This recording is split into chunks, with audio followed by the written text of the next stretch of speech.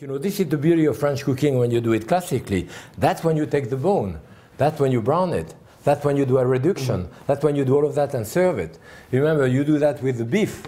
The Maison Francaise is the oldest cultural center on an American campus. It was built in 1913, so over 100 years old at this point. And we offer a variety of events and activities around French and Francophone culture and history. And by building this new kitchen, it's the last phase of a renovation, we are able to add to our educational activities events focused on food and cooking, on culinary history and tradition. So we're inaugurating our new kitchen with French chef Jacques Pépin, who is here and going to be doing a cooking demonstration of a few recipes from one of his cookbooks called Essential Pépin.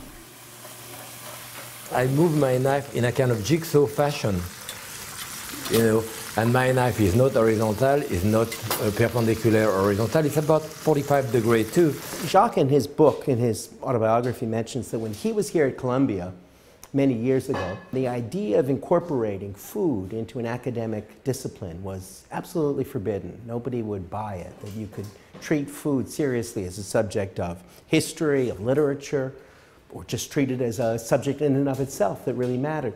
I've been on that campus so many years, from 1951 to 1972. So at that time in general study, I did a BA and uh, eventually I did a master in literature, 18th century and I proposed as my doctoral dissertation an history of French food, starting in the 16th century with the Pléiade poet, Ronsard, and other, up to post early 20th century.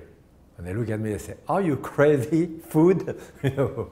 So eventually uh, the world has changed, certainly the world of cooking. I mean, 30, 40 years ago, any good mother would have wanted her child to marry a, a lawyer, a doctor, an architect, certainly not a cook. Now we are genius. He goes so, cross his leg, and makes him happy.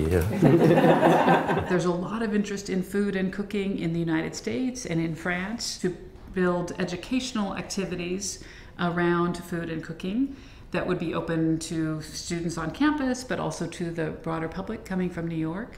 And so we're really marking here at the Maison Francaise, I think, not just a wonderful evening with Jacques Pépin, but a whole transformation in our way of thinking about food and the human relation to it.